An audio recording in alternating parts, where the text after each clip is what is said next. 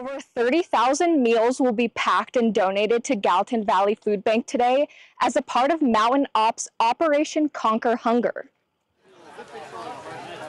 What we're doing here is a small part of Mountain Ops, but it's a really big part of who we are. Mountain Ops is a nutritional supplement company, and director of the operation, Cheryl Mountier, says CEO of Mountain Ops, Trevor Harns, experienced food insecurity in his own life.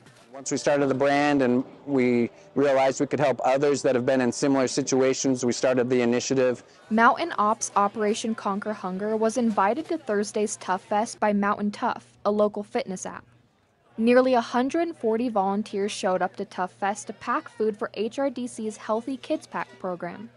We really saw a jump in um, uh, usage of that program, especially when grocery prices went up. And so programs like this will really help us to help mitigate that high cost of food um, so that we'll have enough food to keep running the program.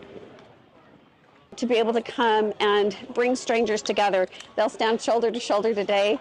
And before this event is over, um, there will be kind of a sweet community that is, is kind of created and Mountain Tough says that's what it's all about. The whole goal of this entire entire day is to build build community, serve our community, and uh, you know show people the mental toughness and grit that Mountain Tough is all about.